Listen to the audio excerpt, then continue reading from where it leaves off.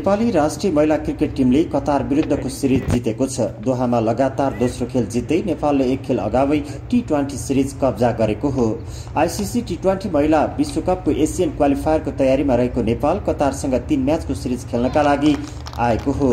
पहिलो खेलमा एक सय उन्नाइस रनको फराकिलो जित दर्ता गरेको नेपालले बुधबार एकसठी रनको जित निकाल्दै सिरिज नै कब्जा गर्यो। नेपालले दिएको एक सय तिस रनको लक्ष्य पछ्याएको कतारले सबै विकेट गुमाएर अडसठी रन मात्रै बनाउन सक्यो। अन्तिम ओभरमा दुई विकेट गुमाएपछि कतार तीन बल बाँकी छँदै अल आउट भयो। कतारका ब्याटरलाई रोक्ने क्रममा नेपालका सरस्वती कुमारीले चार विकेट लिइन्। किफायती बोलिङ गरेकी उनले चार ओभरमा एक ओभर मेडन राख्दै आठ रन खर्चिएकी थिइन्। यसै गरी सबनम राई रुबिना छेत्री सङ्गीता राई र कविता जोशीको नाममा एक एक विकेट रह्यो। एक सय तिस रनको लक्ष्य पछ्याउँदा कतारको सुरुवात पनि राम्रो रहेन। टिमले छ रन बनाउँदा तीन विकेट गुमाएको कतारले सत्र रनमा चौथो विकेट गुमाएको थियो। कतारकी हिराल अग्रवाल खाता नै नखोली आउट भएपछि विकेट पतनको श्रृङ्खला सुरु भएको थियो। सबिजा पाण्ड्याले पनि खाता नै खोल्न सकिनन्। साची ढडवल चार रन बनाएर आउट भएकी थिइन्। खादिजा इम्तियाज पनि व्यक्तिगत चार रन जोडेर आउट हुँदा कतार चार सत्रको अवस्थामा थियो। त्यसपछि कप्तान ऐसा र केरी पुनसेट मिलेर टिमको स्कोर पचास प्लस कटाएका थिए। एकाउन्न रनमा पाँचौँ विकेट गुमाएको थियो। त्यति बेला कप्तान ऐसा व्यक्तिगत चौबिस रन बनाएर आउट भइन्। उनले बत्तीस बल खेल्दा दुई चौका प्रहार गरिन्। एकाउन्न रनकै स्कोरमा कतारले छैटौँ विकेट पनि गुमाएको थियो। सेट भइसकेकी खेलाडी केरी व्यक्तिगत पन्ध्र रन जोडेर पवेलियन फर्किएकी थिइन्।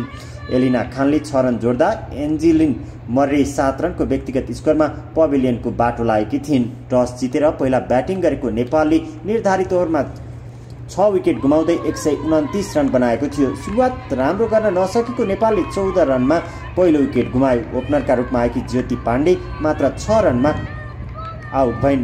त्यसपछि काजल श्रेष्ठ पनि मात्र तीन रनमा आउट भएपछि नेपालले बिस रनमा दोस्रो विकेट खेर फाल्यो। तेस्रो विकेटका लागि कविता कुँवर र कप्तान रुबिना छेत्रीले छप्पन्न रनको साझेदारी गर्दै टिमको पारी सम्हालेका थिए जसमा कविता व्यक्तिगत एकतिस रनमा आउट हुँदा नेपालको स्कोर छयत्तर रन थियो। त्यसपछि सरिता मगर चार डोली भट्टले खाता खोल्न नसक्दा नेपालले सतासी रनमा पाँचौँ विकेट गुमाएको थियो। रुबिना छेत्री टी ट्वेन्टी अन्तर्राष्ट्रिय क्रिकेटमा अर्धशतक बनाउने दोस्रो नेपाली खेलाडी बनेकी छिन्। कतार विरुद्धको दोस्रो खेलमा रुबिनाले कप्तानी पारी खेल्दै अर्धशतक बनाइन्। टिमको स्कोर बिस रन हुँदा दुई विकेट झरेको अवस्थामा क्रिजमा आएकी रुबिनाले तेस्रो विकेटका लागि कविता कुँवरसँग छप्पन्न रनको साझेदारी गरेकी थिइन् जसका कारण नेपालको पारी पनि सम्हालिएको थियो।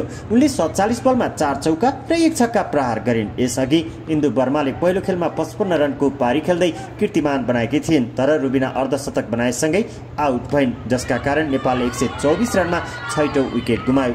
नेपालका लागि अप्सरी बेगमले तेइस रन बनाइन्। बलिङमा कतारका लागि एन्जिलिन मरेले दुई विकेट लिइन् पहिलो खेल तुलनात्मा पहिलो खेलको तुलनामा कतारले दोस्रो खेलमा सुधारिएको प्रदर्शन गरेको हो। नेपालले बिहिबार कतारसँग तेस्रो तथा अन्तिम टी ट्वेन्टी खेल्नेछ। त्यसपछि शुक्रबार यतैबाट एसियन क्वालिफायर खेल्न नेपाली टिम युए प्रस्थान गर्नेछ।